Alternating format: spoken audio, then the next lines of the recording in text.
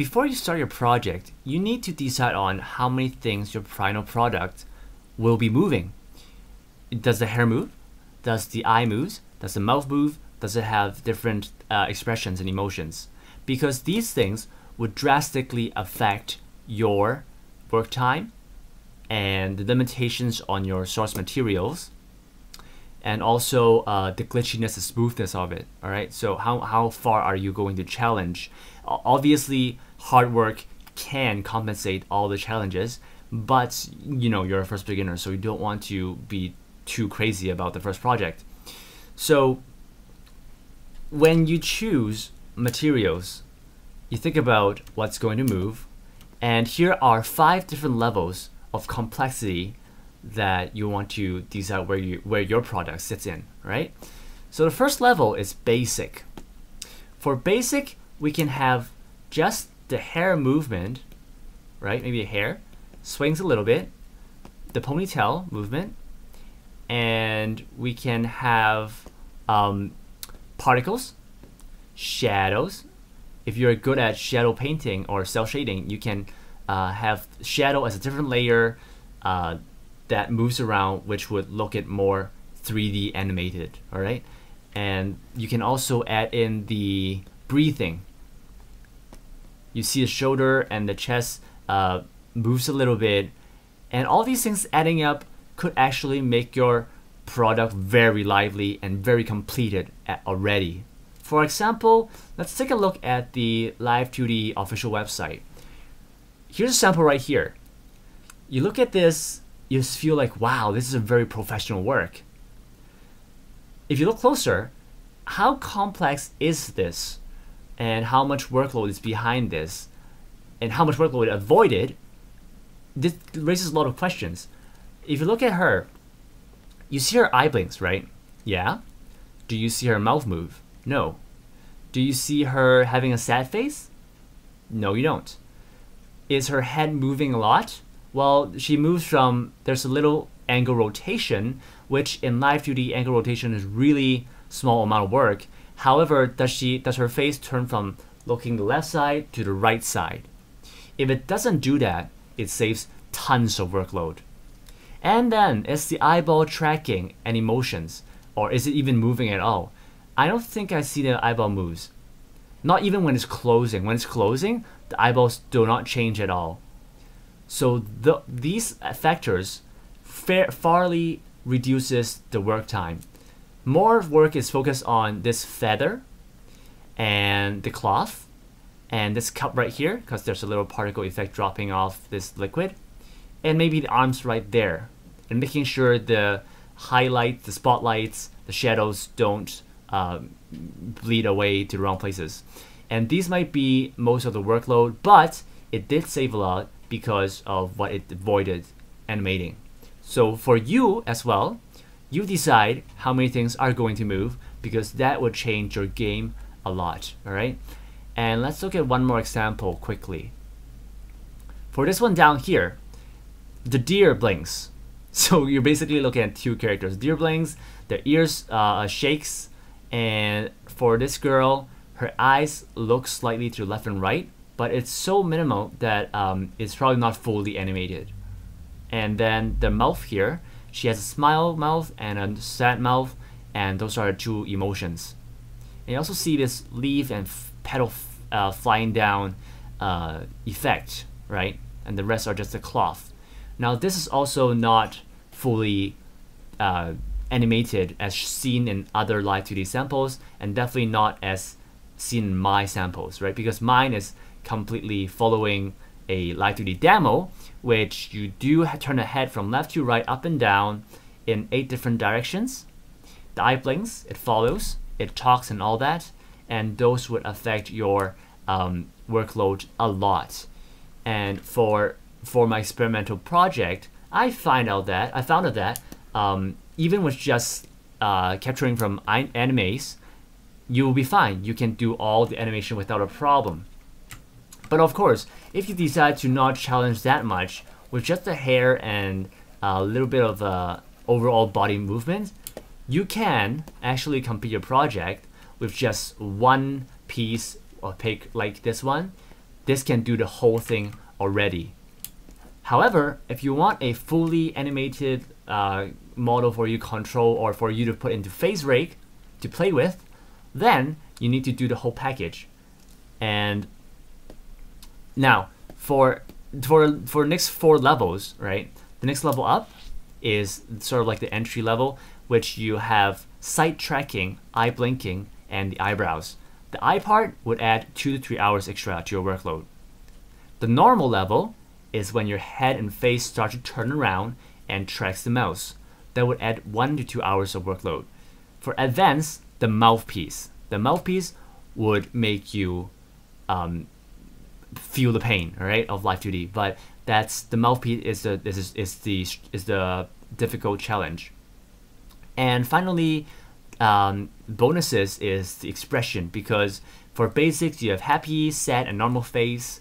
These three are uh, the basics, and you can finish them in one hour.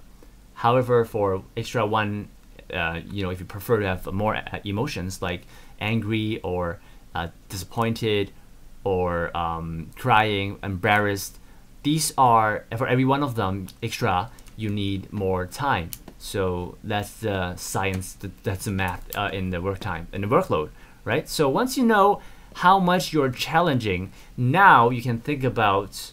Now you're ready to look into the anime episode and pick out the moments that you need for your project. For my case, I picked this one. And this one is because once I have this moment screen, screen capped, the following next two moments gave me these two images. The movement is only the mouth. The head didn't move, nothing else moved except for the mouth, which means I can have this one as my base image, and these are the support ones. And then I can just take this piece, throw it in, and become this mouth, and this piece also. Now I also need a sad mouth because I want emotions, right? I took this one, this one, and this one. These three went into this project or this uh, base. What about the eyes? I want an eye blinking. And then I found this one, this one, this one, and here. All right. And let's look at other things. Can I pick these? These are these are a lot of expressions right here. The mouth move a lot, the eyes move a lot individually, and they're all centered, sort of centered, right? So are they okay? Well, no, because vertically they're very upwards. If I have cut this part and throw it in, highly likely that it would feel incompatible or in other words your face would look messed up all right and so I you, you want to avoid um, things that are vertically uh, tilted if it's horizontally tilted, it really depends. Because you are going, well, I am going to do the left face and right face also. So maybe horizontally, I will need some references anyways. I can, I could have took, I could have taken this one and become my left and right face, open mouth, uh, but I didn't. But you know, it's, it's always going to be an option. Um, and then this one right here, it's uh, this actually these two are very compatible, even though they're left and right.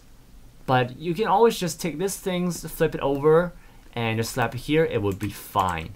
All right, so these are compatible because you look at angle, look at structure of it. It's this one and this one, right? And this one is basically this right here. This is what I drew as a sample of um, the structure in this one. So it's slightly downwards and it's slightly left side, right? And its open mouth would look like this. Maybe I will see the teeth on the lower jaw. All right, and that is correct.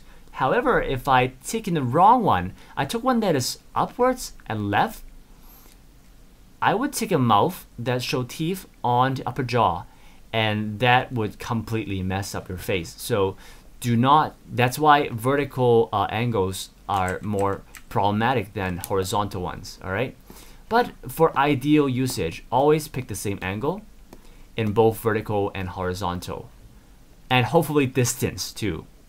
And there are two other factors. One factor is the lighting. The other factor is the color tone or whatever effects that is thrown into that scene.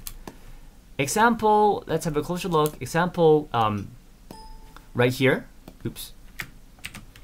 The one that I took actually has a very mild lighting effect from the top. It's white and blue. And there's also a little bit of bloom effect of pinkish uh, shining, uh, reflecting off the face. Maybe you can see here, but knowing KyoAni, they do that a lot. All right, so there's a little blue. There's a little bit of a white mist eating up the uh, blue vibrance at the back. Like you can see this blue is very a little bit faded, right? But this blue is very sharp, even though it's not the same, you know, tone. Uh, but you, you can see what I mean when it's slightly faded, right? So also right here, you can see the hair, lower part of it, there's a shadow eating up, there's a blue um, fog eating up the colors.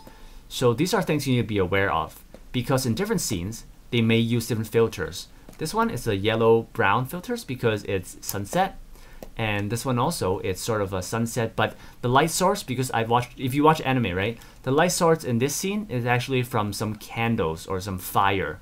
And it's very, um, like the, the light from fire, it's the color effects. It's different from sunset uh, sunlight. So this one and this one are vastly different. Whereas this one and this one, this is outdoors, indoors, sometimes different. Usually outdoors are more blue tone, indoors are more yellow tone. In this specific case, uh, differences are so small, so I took this part and threw it in, it wasn't a problem at all. But if you were to face problems with the color tone, which in my case, I took this mouth and throw it in, and the mouth is actually in, the, in different color tones. What I did was, I actually did a retouch on the color tone before throwing it in. So that's what I try to do in order to in, increase this uh, sort of um, consistency, right? However, what I didn't do is that I didn't care about the distance problem because distance in anime affects the details. Usually, anime today, the further the character from away from the from the ca camera, and uh, the less details you'll see. And that's why in this specific case, you can see in this mouth, it has three tones of pink inside the mouth. However, in this one, there's only one.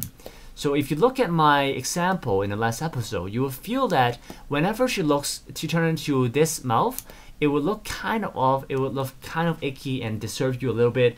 Maybe it's because you realize that um, the color tone has has a different um, details quality. All right, so those are things you have to look out to. First thing is angle, and then you want to look out for the lighting, the color tone, see if you can do something about it, and finally the texture details. All right and hopefully you pick an anime that uses uses uh, cel shading if, uh, uh coloring because if it uses traditional painting uh, or realistic painting or if you screen cap from a 3D game and take that JPEG and to turn into live 2D 3D uh, live 2D model you will have trouble or you would require a lot of work hard work in order to make it uh, completed all right so have fun take your time pick the right uh, materials. And if you're not sure, you feel free to ask me questions, send me images, and I will decide. I will let you know, uh, you know, the probability or the viability of uh, making that work. All right. So I'll see you guys in the next episode. I will talk about how to slice things up, cut them into layer, and complete your source material. And I'll see you guys next time.